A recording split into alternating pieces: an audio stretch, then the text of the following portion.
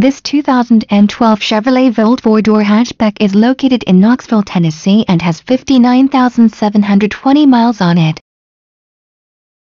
This four-door hatchback has a beautiful crystal red tint coat exterior paint color which is complemented by a jet black ceramic white accents interior color. For more information on this great four-door hatchback please click the link below.